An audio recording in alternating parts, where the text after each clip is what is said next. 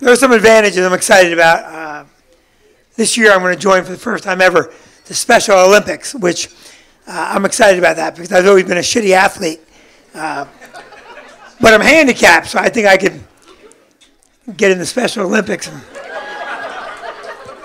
I'm pretty sure I'm going to win the 100 yard dash. I'm going to, only guy that can run a straight line. I'm, just have to try and figure out when they shoot that pistol. If I can figure that out,